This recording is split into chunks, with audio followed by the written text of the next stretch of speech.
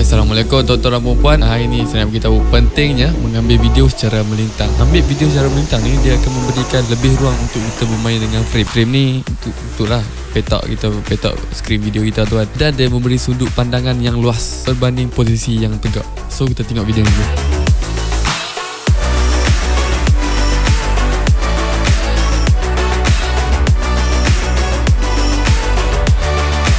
Okay, ambil gambar dan video menegak ni bukan tak menarik. Namun dia akan menghadkan dan sekat kelolasan pandangan kita Kecuali TikTok.